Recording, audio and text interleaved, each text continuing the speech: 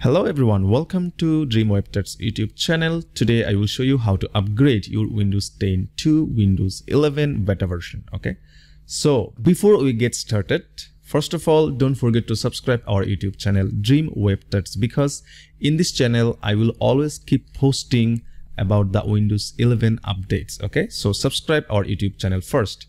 And now without further ado, let's get started.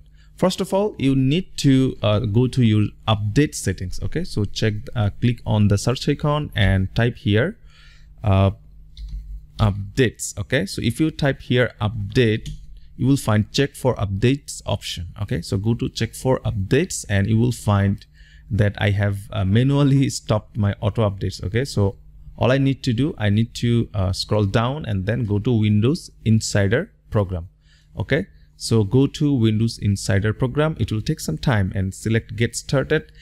It will take a little time and it will it will give you an option to select your account. So i am it, you need to link your account okay? So if you have a work or school account you can add the add this. But if you uh, do not have work or school account you can simply select your microsoft account okay? So select continue. And now you need to uh, link your account. So i'm typing my email and password I'm typing my email and password. Okay, then click sign in. It will take some time. Click next and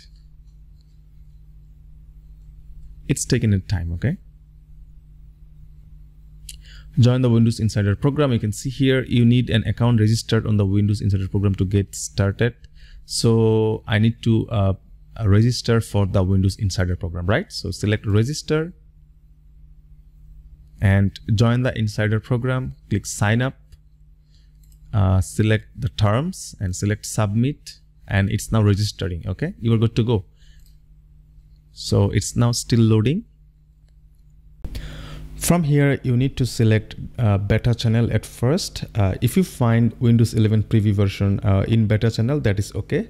Uh, but later time, if you do not find uh, Windows 11 preview version, then we will get back to dev channel. Okay, so first of all, let's try uh, beta channel. Okay, select confirm and now select confirm again and now we need to restart our computer okay so select restart now and our computer will restart so after restarting, now I need to access the update again. So uh, write update here and select check for updates. Okay. Go to Windows Update and select check for updates.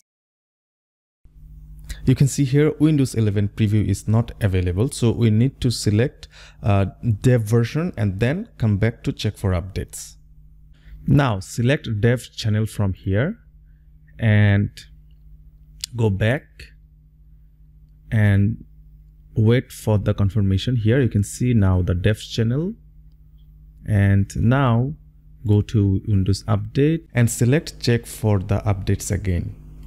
So after checking windows updates you can see here windows 11 insider preview 10.0.22 0.51 core release so after downloading this file it will automatically install and it will automatically restart.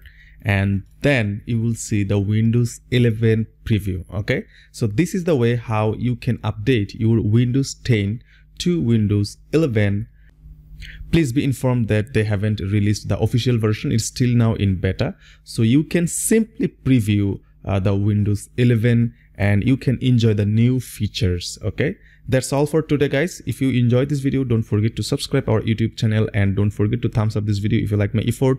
And keep watching dream web to get more more tutorial like this. I will see you in another video. Have a great day. Bye